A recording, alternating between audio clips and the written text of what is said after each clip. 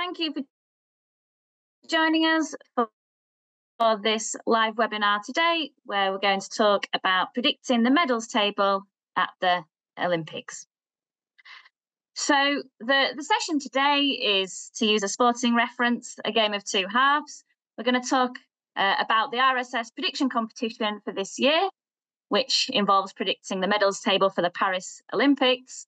And then related to that, we're going to hear from uh, an expert in the field who's going to tell us all about how to rank nations at the Summer Olympics. So before we get on to that then, just a little word about the prediction competition this year, which is sponsored by Amelco. So this year, the goal of the competition is to predict the medals table for the Paris Olympics. Right? That's how the BBC would represent the medals table. That is number of golds followed by number of silvers and so on, not the total medals won, as you can see, because Great Britain would be a little bit, well, no, not higher because the ROC would overtake us. Uh, so that's the goal to predict the medals table for the Paris Olympics. You can use any data you wish as long as it's publicly available. And your job is to rank the 206 nations that are competing in the Olympics this year uh, in the submission template. So you'll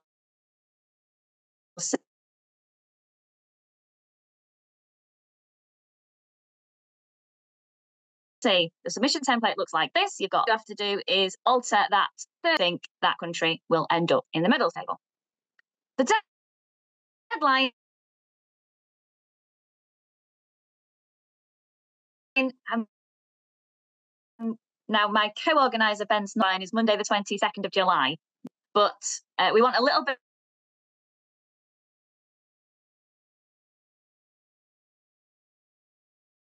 bit of time to make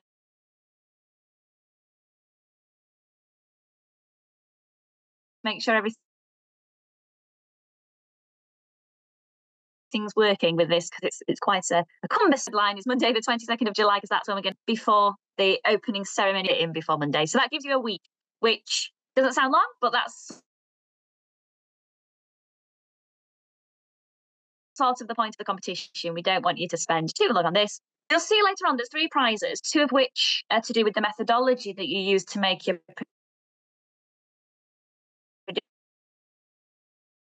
predictions. So if you want to be I've just shown you, please give us a brief description of how you've come about and made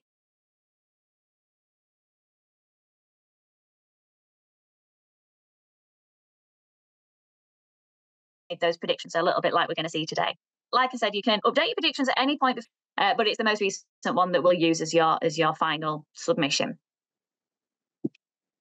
There's three prizes available. And I'll tell you a little bit about that next. Okay, brilliant. I've already had a question come in, and that's perfect because I'm going to answer that on the on the next slide. So thank you. Um, so as we say, we've seen that submission template. So we've got three prizes available. So overall winner. Now, obviously, right, the the the, the prestige that comes with winning the RSS Statistics in Sport competition is is the thing we're all playing for here. So the person who gets that title, the overall winner, is the person with the best score. So um, how we're going to do that is very briefly to say the distance from the true ranking at the end of the games. But if you want to know more about that, then you can see the website and I'll pop the link in the chat in a moment. Um, so we're going to basically look at your correlation between what you've put and what the final medals table is at the end of the games and then the person with the highest correlation or the lowest distance between what they did and the final table is the winner. Um, as I say, there's a really nice description about the fantastic mathematics that underpins our, our scoring metric on the website. So have a look at that. Uh, this did cause a little bit of discussion about how to score this, and so maybe we'll talk about that later. Then we've got two prizes um, that are a bit more to do with the method that you've used to reach your ranking. So these are both chosen by the judging panel. They're informed by your correlation and your score, but principally it's about an interesting methodology that you've used to, to make those predictions.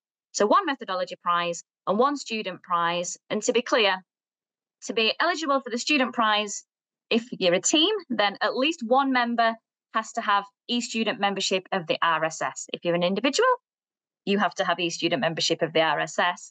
Or if you're maybe too young for that, which we're hoping we might get some some school pupils entering this competition this year, um, then that's fine, full-time education.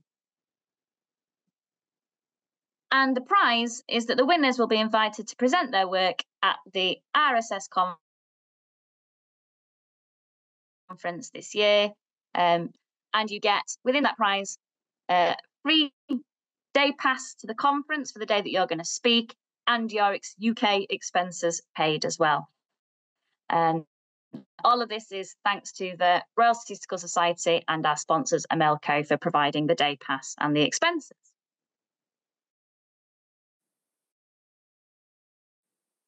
Right, so hopefully that gives you a flavour. As I say, I'll put the link to the website in the chat in a moment, so you can go there for further details. There's also been a launch webinar that's currently on our uh, RSS YouTube channel. Again, there's a, a link to that YouTube video uh, on the website.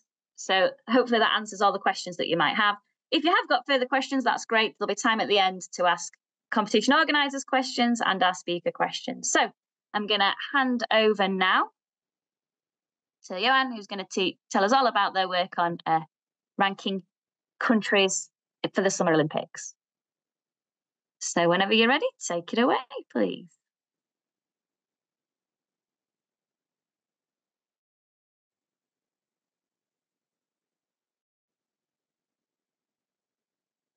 Yep, hold on. I can um, see your slides, but you're still muted. Brilliant.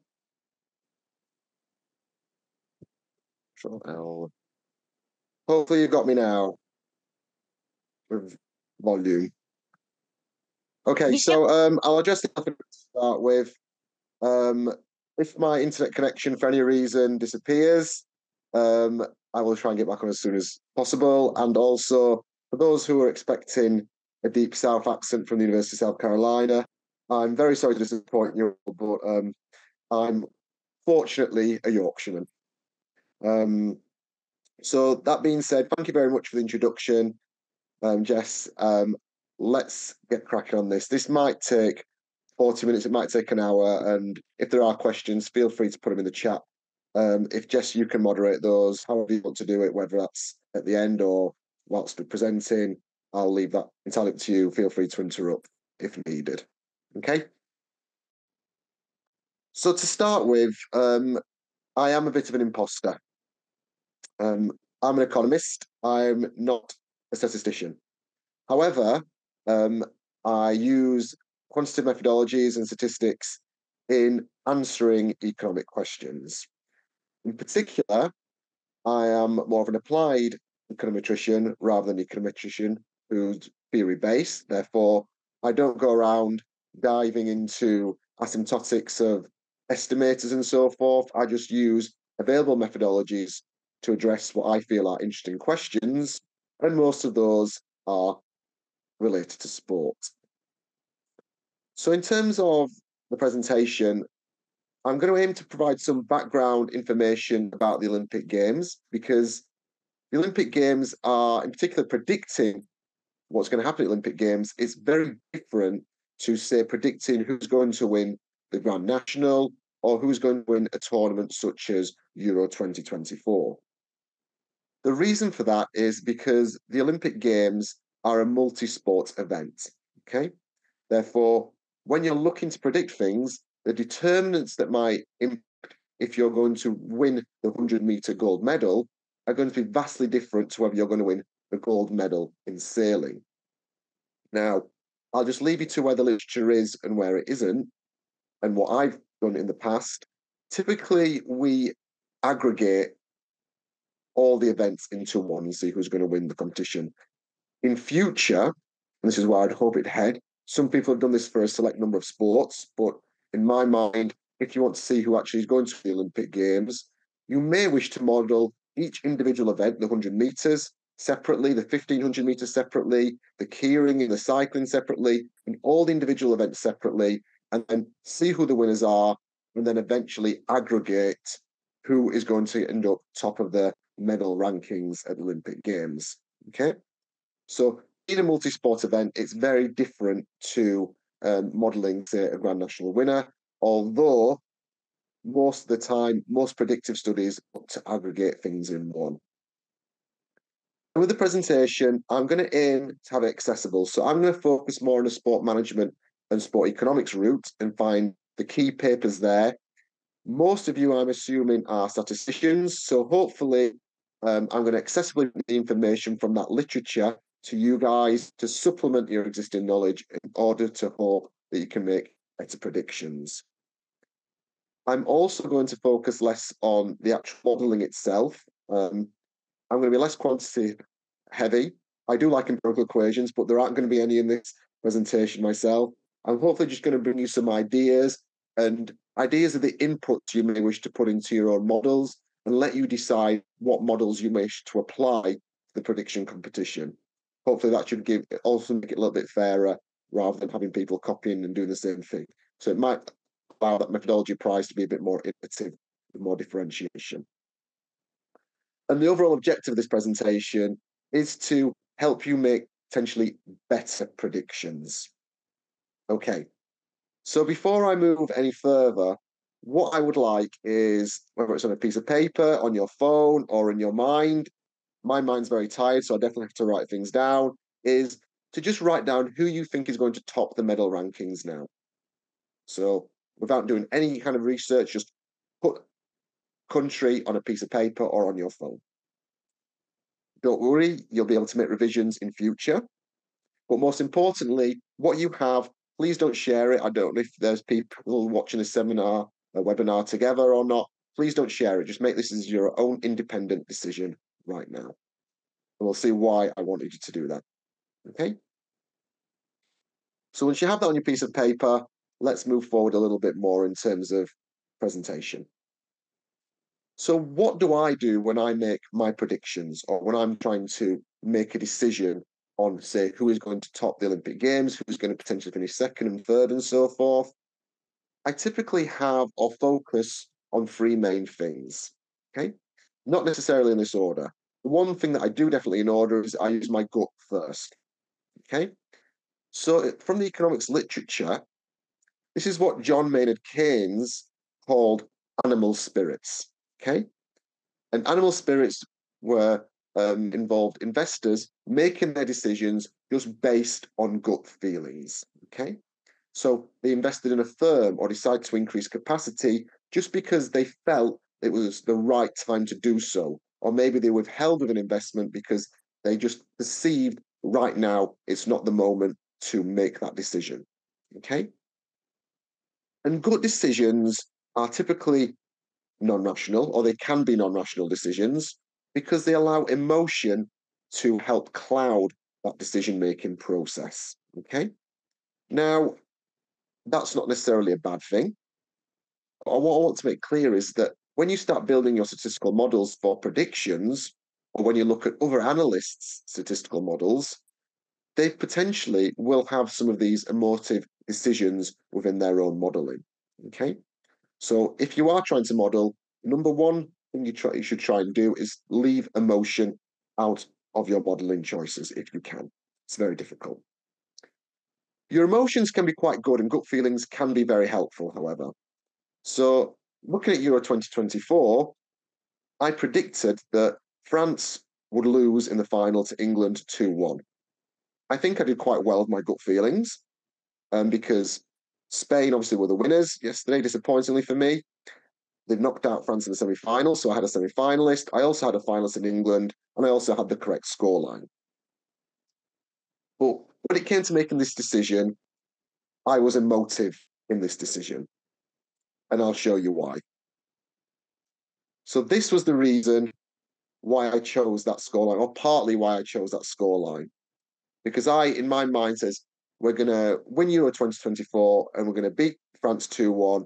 And it's going to be vengeance for the quarterfinal in Qatar 2022. That's how I came about that decision. Okay. So moving on in terms of emotions and some of the um, aspects that might cloud your judgment or cloud your gut feelings, um, I'm going to give you a brief primer into a few of these and traits uh, from behavioral economics and behavioral finance that may influence your own decision making, your gut feelings, but may also influence your statistical modeling. Okay. So the first aspect is herding behavior. And this is why I wanted you to write down your prediction to start off with without consulting anybody, just getting it before you look at anything whatsoever. And herding behavior is your individual decisions change based upon the decisions that you get from other individuals. So, for example, you may have China on your piece of paper to say they're going to top the rankings in Paris 2024. And then you hear that everybody else says that France are going to top the rankings. You change your decision to be France, but purely based on the fact that other people have selected France. Now, there is a key distinction here about what you're doing. So, herding behavior is where you will change your decision despite not receiving any new information and processing it. Okay.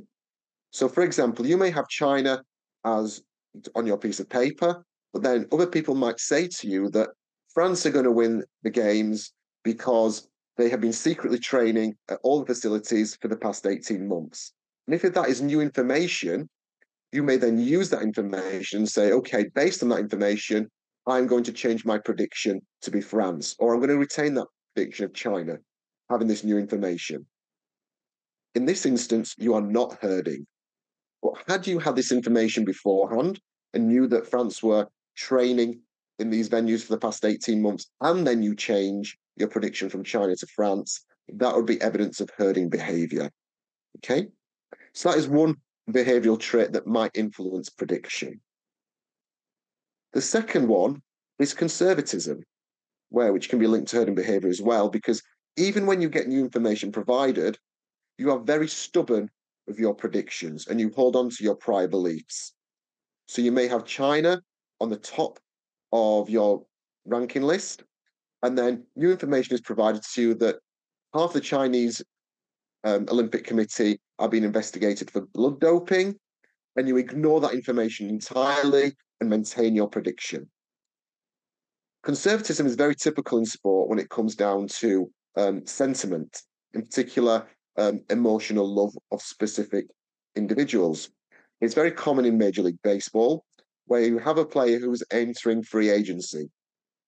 Um, it could be a case that coaches get new information that their statistics are starting to decline or the player is starting to decline because of their age. Coaches maintain that player and sign him on for a new contract, which is a conservatism because he's performed very well the previous few years and they ignore this new information that the player may be tiring, he may be aging, he may not be performing as well based on history. Some other aspects include over or under confidence. And this may impact your predictions, especially towards the middle of those countries who maybe say 20th to 50th at the games. Okay. And over and under confidence is normally exhibited with financial decisions where you'll take on excessive risk if you're overconfident or less risk if you're underconfident. And this means that you pay too much or too little attention, depending whether you're over or underconfident, to the news provided to you.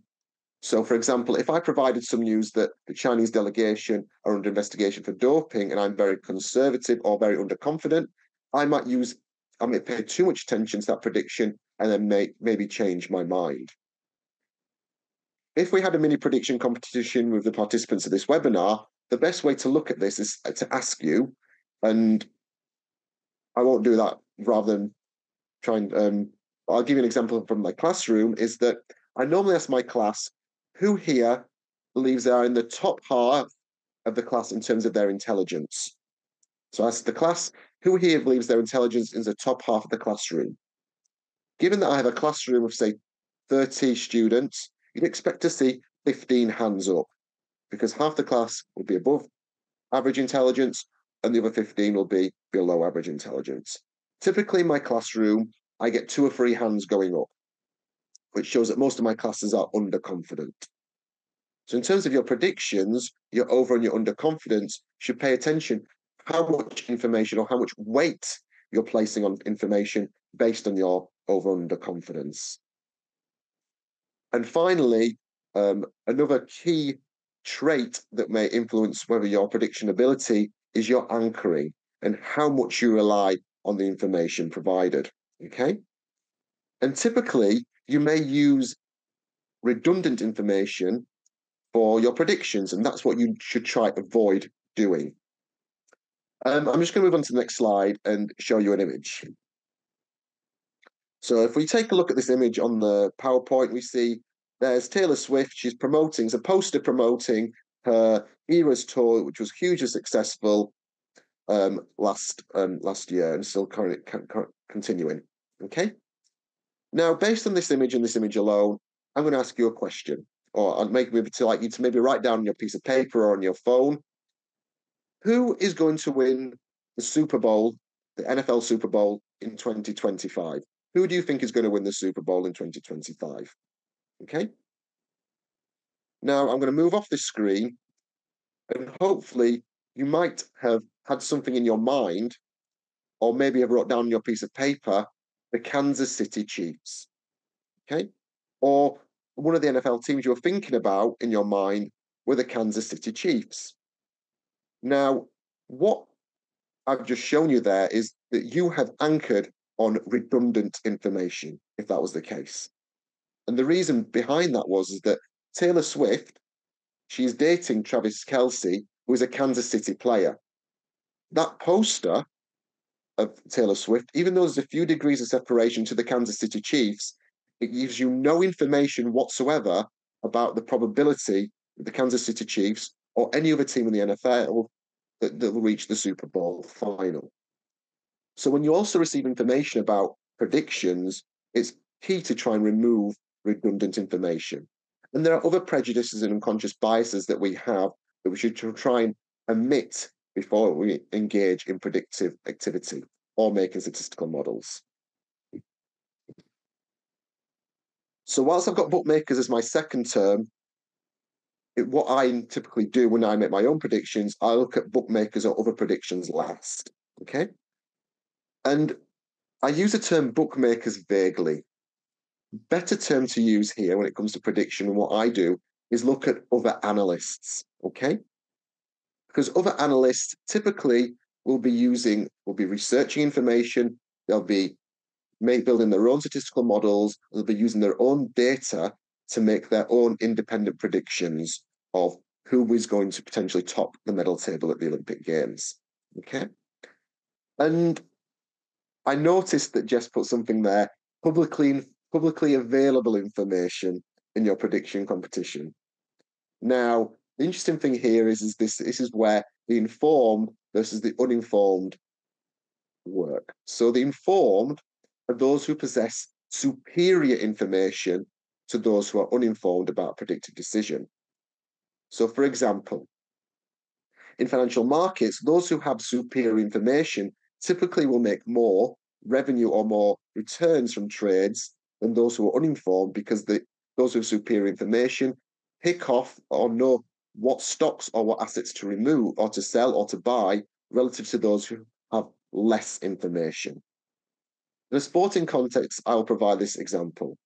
So back when I was 14, 15 years old, I knew who was going to be the next manager of a West Yorkshire football team because their son had joined our football club on the Wednesday came training and told us that the deal has already been signed and sealed and delivered.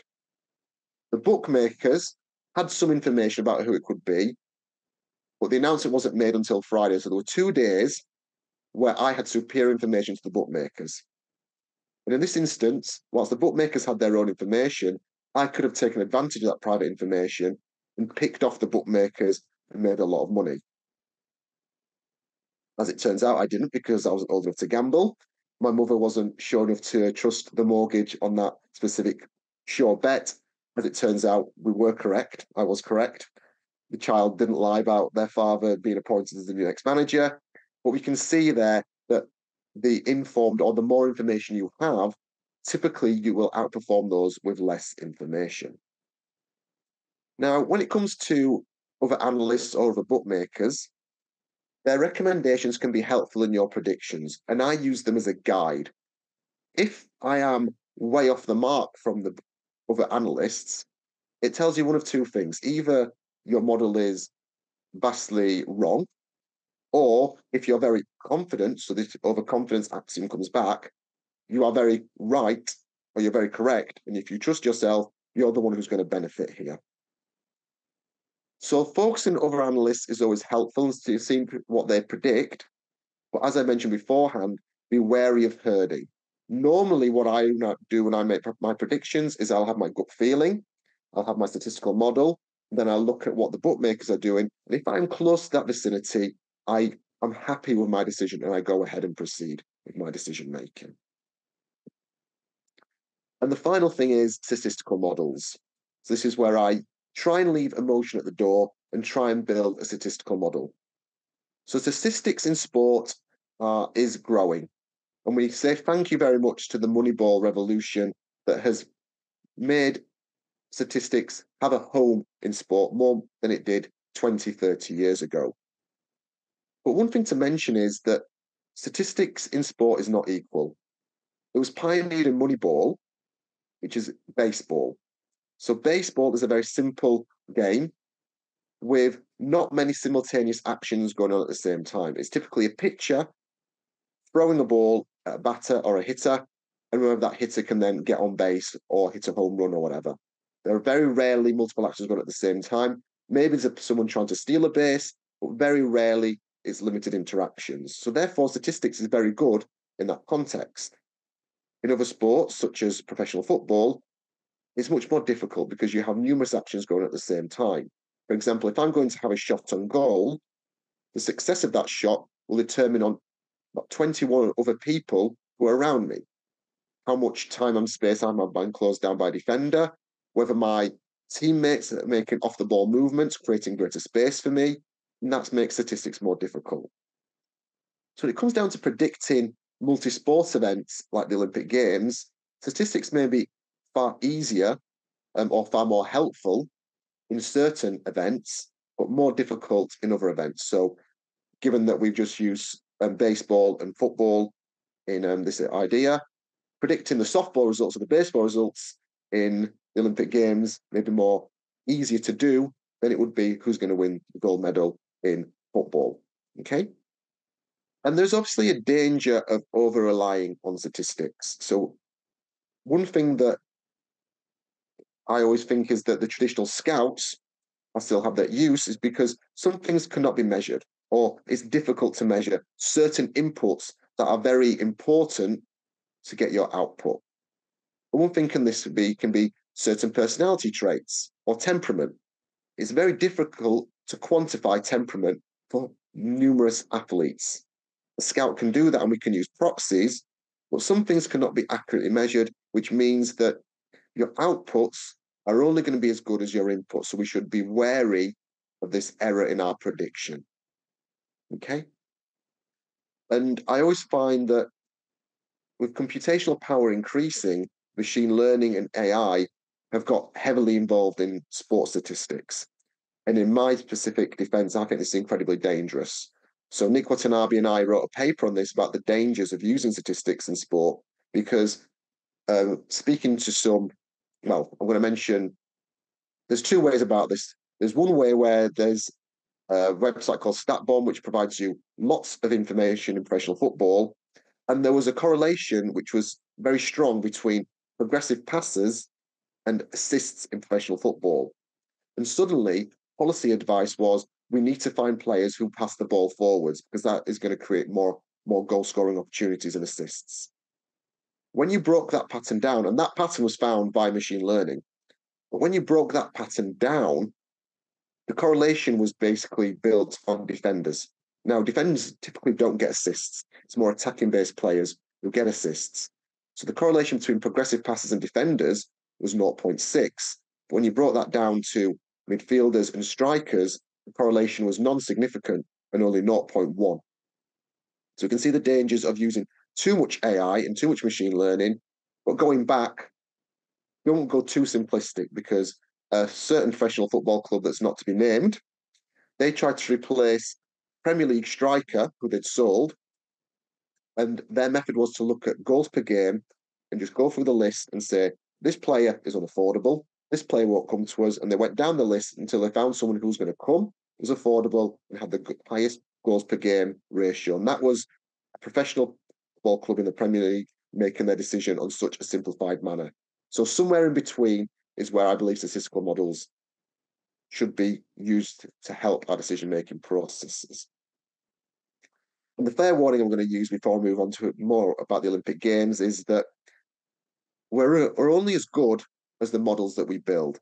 Now, I've mentioned those biases that we had beforehand, those ones we have our gut feeling and our behavioral sentiments, they will be in our statistical models. I'm someone who believes that um, income is not as important to determine the success of sport.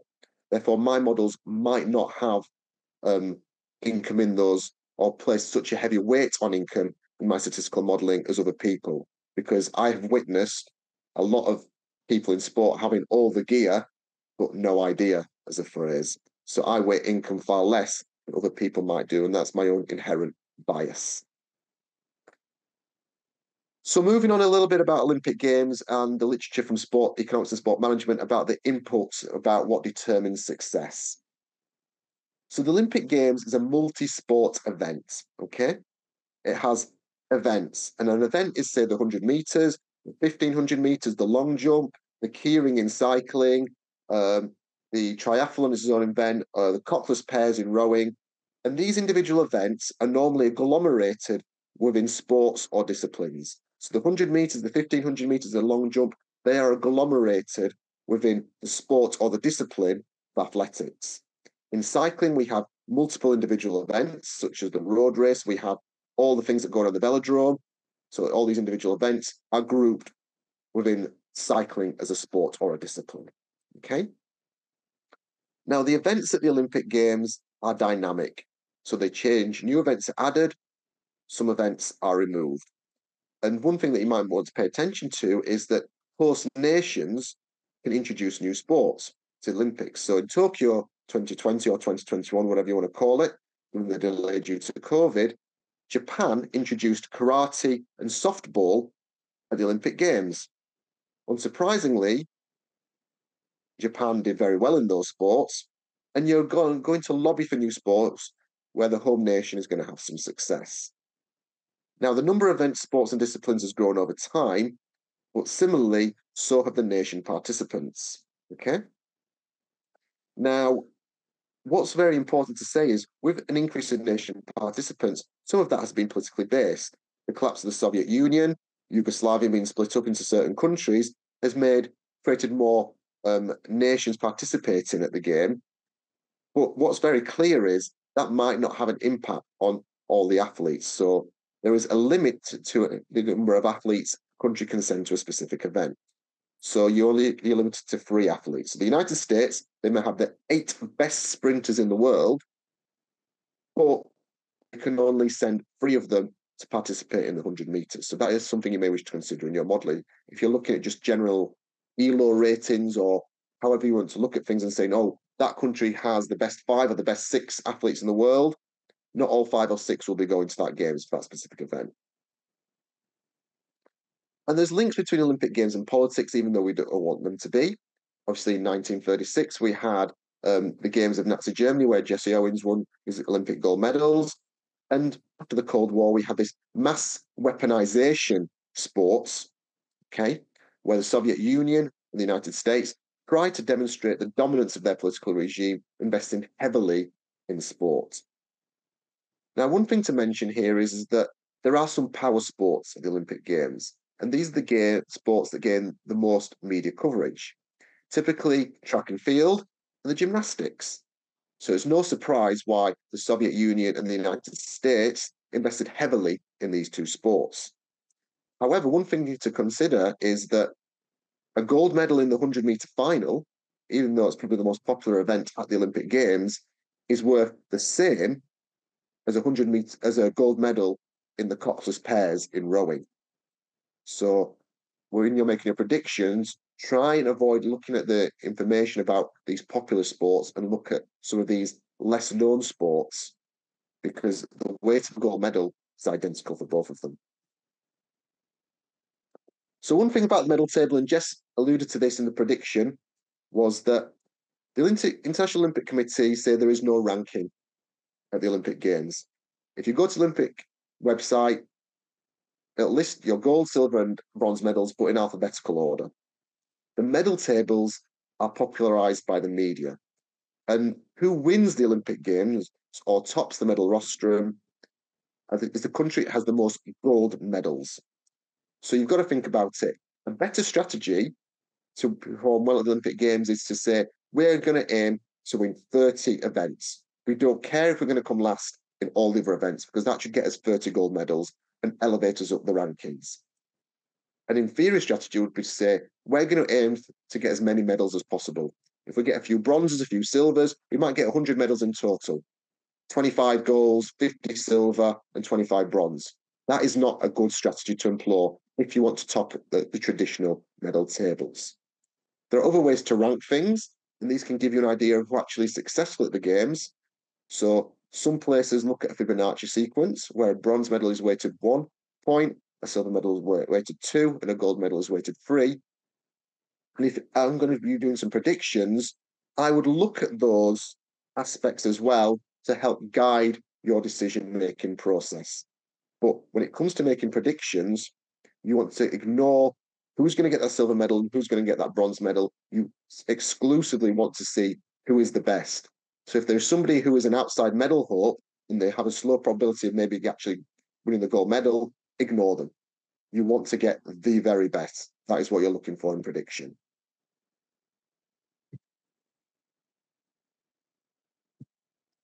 So that's the Tokyo 2020 medal table. And as Jess alluded to, Great Britain in fourth position because they only have 22 gold medals. Japan are third with 27 gold medals, even though the total medals Team GB had at, at Tokyo Games was and 64 compared to Japan's 58. So focus on the winners. So I'm going to move on to the determinants of success at the Olympic Games using the sports economics and sport management literature. And I'm going to give you an idea of some inputs and their importance or what I perceive to be the importance of those inputs, which you may then use for your own modeling. Okay. I'm not going to go into the models used because I want you to be innovative with your methodologies. I'll give you an idea. So some people believe that um, winning a gold medal is a separate winning a medal is a separate process to how many medals you'll win. So it's a two-stage process. So hurdle models are important. Some believe it's better to model this as a joint process. So if you win a medal and what colour that medal is going to be. Okay. I'm not going to go too much into that aspect because obviously we want you to be innovative with your methodologies. But the first main um, variable that is shown to impact success at Olympic Games is population size. So larger countries often do better at the Olympic Games. So a country with a larger share of the world's population gets a larger share of the gold medals. And this is intuitive because if we assume a random distribution of athletic talent, and that is randomly distributed across the globe, if you have a greater distribution, if you have a greater population relative to other countries in, in the in the world, you're likely to have a greater share of top end athletes. And looking at China, China does seem to back up this claim because they are obviously very successful at the Olympic Games and they have a huge population. But we have caveats here. And the obvious caveat is India. India, if you go back, nowhere near the top 20 at the Olympic Games, yet they also have a huge population. So you may wish to be innovative and select better measures of population.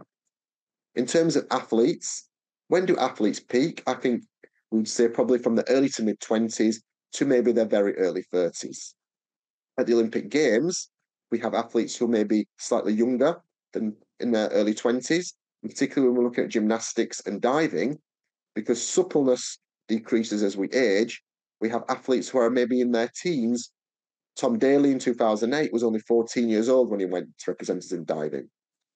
And there are obviously other um, outliers where I believe it was the London 2012 Olympics. Um, there was a Japanese horse dressage contestant who was just in his late 70s or early 80s. I can't remember.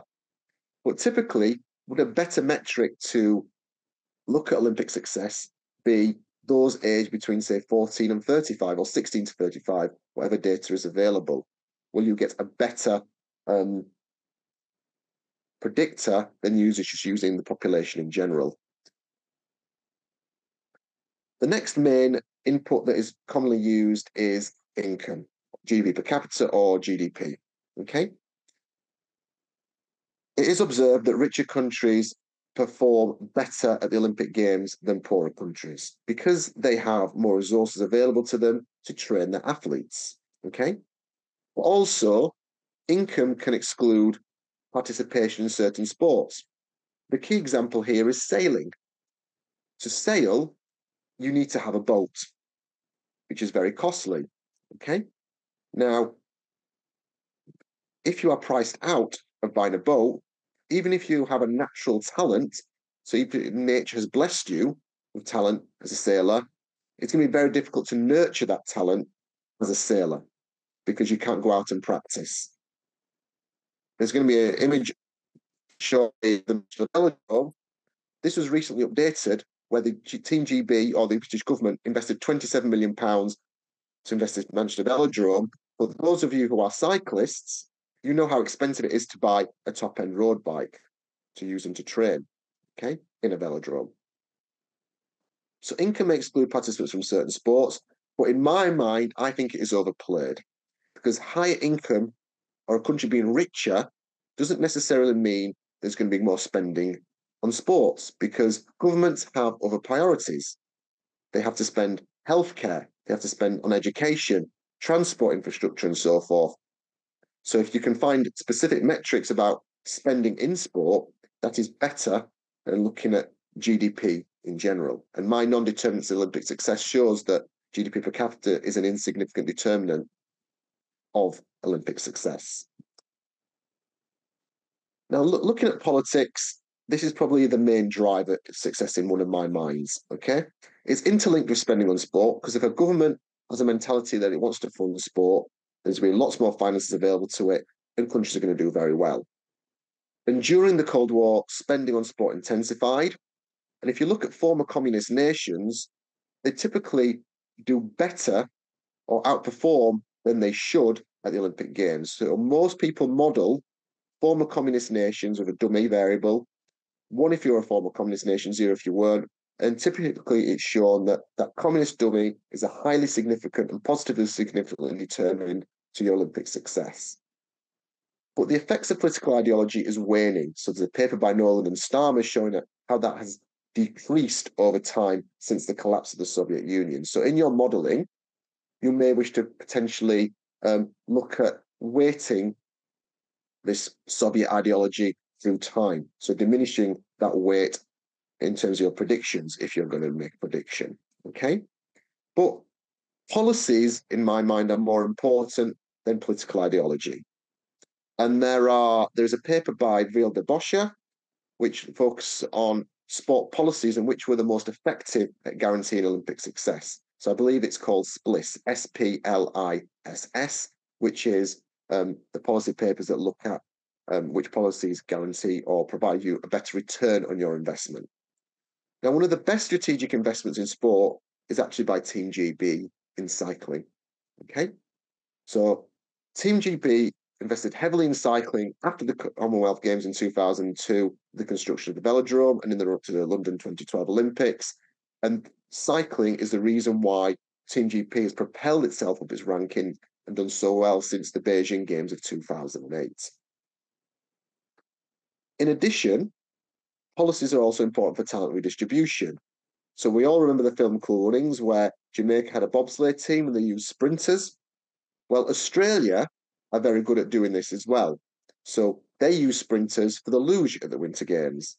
But also, Australia, what they have found they've been doing is that they'll look at certain athletes in certain sports and say that, yes, you're an Australian rules football player. You are big, you are strong, you are tall, you've got a very strong vertical spring. In AFL, you might get so far. You should consider retraining as a high jumper because you'll do far better in that sport than you will in AFL. So being able to redistribute talent is also important. And conjoined, this can actually really help you in your pursuit of Olympic success. So Team GB, one thing that they did, which was very intelligent, is they picked a specific sport that has many events at the Olympic Games. So cycling, the discipline of sport of cycling, has numerous events at the Olympic Games. So if you can be a front or a leader in cycling, you have more opportunities to get a gold medal than let's just say focusing at the marathon.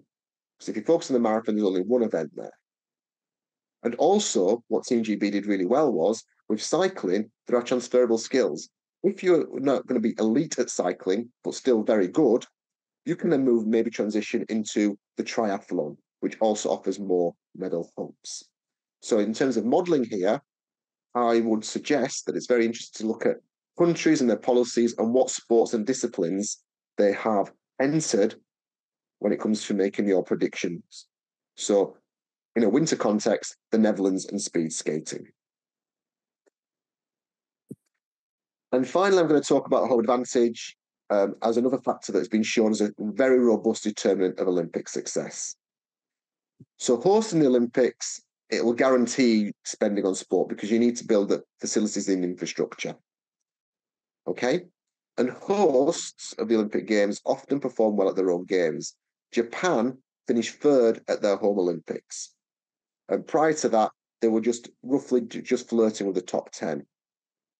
There's also an ex ante effect. So, in the games prior to the ones they will host, and also an ex post effect, the games after you've hosted, you do very well at the Olympics. So you may wish in your modelling to really look at how Japan are going to do this year, how France will do this year, and I believe it's Melbourne in 2030.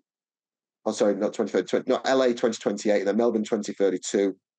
How those nations, Australia and the USA, will might perform with this X ante effects.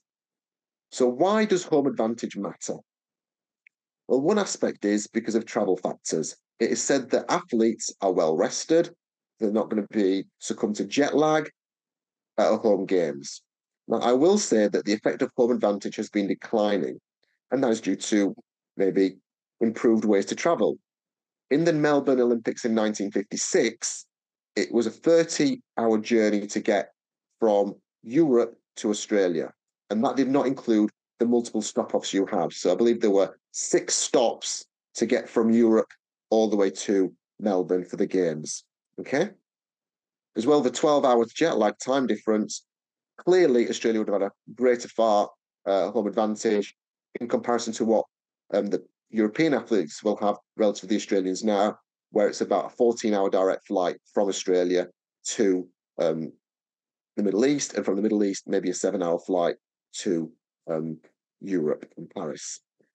More importantly, with the um, athletics and sports being global now, most track and field athletes are already going to be in Europe prior to the events. Okay, so there is in the run up to the Olympic Games, track and field athletes are currently in Monaco participating in the Diamond League. Then they're going to be in London, then they're going to go to Paris. So these travel factors are probably going to be very non existent for most athletes in the run up to these games. There's also the familiarity of conditions and race routes. So this is one of the things that might manifest with home advantage, where the local athletes know or are succumb to the climatic conditions. They also know the route of the race and where to maybe kick in a marathon or when where maybe to um, not expend as much energy. And there's also crowd effects, in particular for subjective decisions in sports that make subjective decisions, such as boxing or professional football, However, the effects of crowds, I believe, are not so strong as initially perceived. We saw in COVID, um, the bias for referees did not really change in terms of home advantage. And also, if we look at um, the Tokyo Games and Japan's performance, the Tokyo Games had an absence of crowds. So, what is it with home advantage that matters? Who knows? But it seems to be very important. In my specific mind, I believe it's that mobilization of resources towards sport. And I'm going to give you one hint from me in terms of persist- um, terms of prediction. Persistence. This is quite simply the best predictor of success at the Olympic Games. Looking at past success and future success. Okay. If you run a model, so I believe Jess showed a um, graph at the start showing a scatter plot of um, a 45 degree line and actual share and predicted medal share. If you include a lag dependent variable into that specification, I'm assuming, Jess, it was from my JSC paper. If it is, let me know. Um, but if you include a lag dependent variable into that, so it is, yes. So if you include a lag dependent variable into that graph, most points then become on, most points lie on that 45 degree line. Okay. So I will heavily recommend to look at the past if you're modeling future success. One of the problems of using looking at persistence, it doesn't help address how nations break the cycle of not winning anything to winning something. And this persistence may be driven by the most successful nations at the games. So when you're doing your predictions, it might be worthwhile to remove those heavily successful nations such as the USA and China and see how much persistence explains. But you'll have a strong model fit, and I would certainly be tempted to look at that. And I am mindful for time. So I'm just going to go straight on to the conclusions and my predictions for 2024, which are those in bold. So it's going to be nicely circular to what I did before. So my gut feelings about doing any modelling, I had the USA to win, I had China second, and I had Team GB as third. When I used my statistical modelling, my model had USA top, China second, and France third. Okay. So we can see that if you compare the um, countries who are have hosted or the countries who have topped the Olympics and finished second, if you look at the last, say, four Olympiads, there was quite a lot of persistence there as well. Okay. Now, I've done number one, I've done number three for my introduction. What about number two and the bookmakers? Well, looking at other analysts and looking at some bookmakers, they too have the United States top, China second, and their statistical models have France third, with GB fourth. Now, not that I'm encouraging people to gamble, but in my mind, they have got United States as two strong favourites here. And China, maybe not. Um, I think the odds on China are worth a punt. If it was me, I'd say China about close to evens to top the medal table. And that's purely because of the way the rankings are done. Okay, so randomness and um, decisions can really influence whether you finish a gold or get a silver medal. So it could be a case that um, fraction of a second is a difference between winning a gold medal and a bronze medal. So if I was a betting man, I would possibly elevate China a little bit more close to the United States in this prediction competition. Okay. But overall, I predict, and the evidence seems to suggest that Team USA will win. And what I would like you to do just to finish off, I would like you to go back to the very first prediction you made on your piece of paper. And I wonder how many of you are going to revise that prediction based on some of the information you have now, or whether you're going to stick with it. So I'm going to hand over to Jess, and maybe she can add on a little bit to this and see how we finish off. So thank you very much for everyone's time. Um, I hope that was informative. That was brilliant. Thank you so much. Thank you. I'm trying to give you Zoom applause. Yes, lots of Zoom applause coming through. Thanks a lot. Um, I, I had China as mine and I, I think I'm going to stick with it because, uh, like we say, that the point is about having an edge, isn't it, in a competition and being different. Right, we're bang on time, so I'm just going to pop that link to the website in the chat. Um, I will give people um, a bit of time to ask any quick, like I said, we might have time for one or two quick questions. I'll just uh, give a while we're waiting for those questions. So again, it can be for for me as the organizer of the competition or uh, to our speaker. While waiting, I wondered if our sponsors just wanted to say a, a quick word uh, about anything just while we're waiting if, if anyone's got any questions.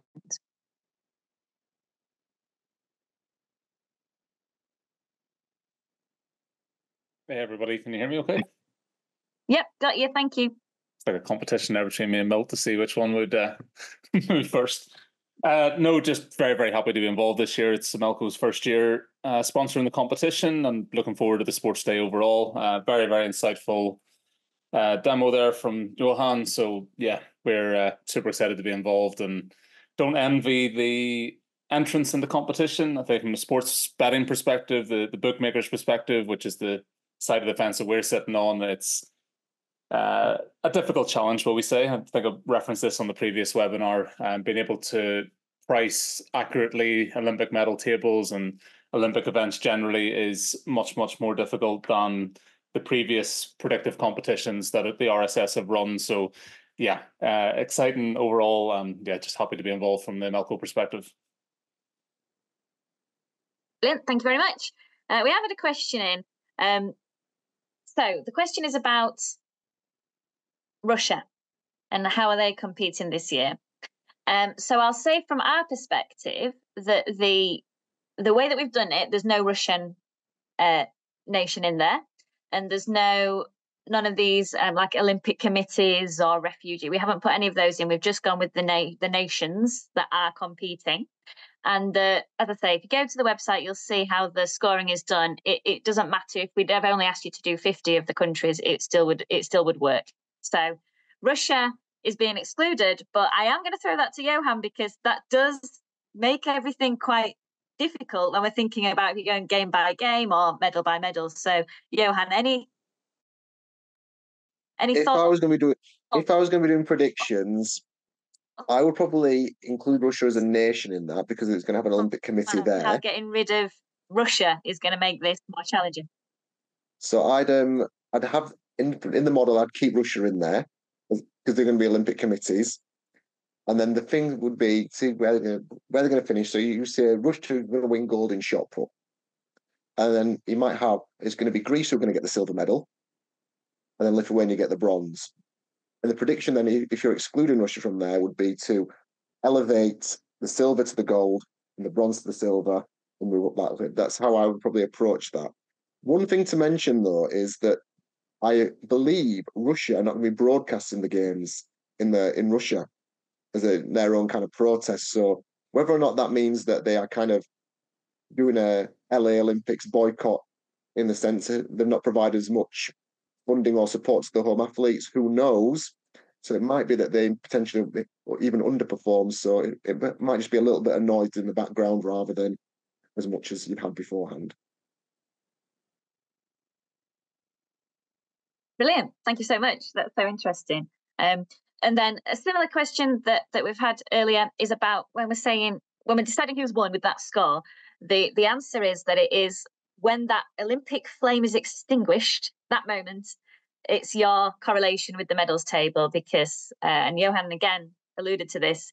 If in the future medals get taken off countries or so on, you would have still won the RSS prediction competition uh, despite that. Right, that brings us perfectly almost to one hour from when we started. So I think I'll leave it there. Uh, but if anyone does have any questions uh, to the organisers, again, the website's in the chat and in the email that hopefully you've received for joining this webinar. So look there, and our email address is also there if you want to email us questions. So just one final thank you, and really a, a really big thank you from the RSS Statistics and Sports section for that fantastic talk. It was absolutely brilliant. Uh, telling us about your work and also relating that to the prediction competition in just the right balance that isn't going to make everybody do exactly the same thing. So really, thank you so much for that, uh, Johan, and yeah, thanks everyone for attending as well. Um, it's been it's been really great to see you all.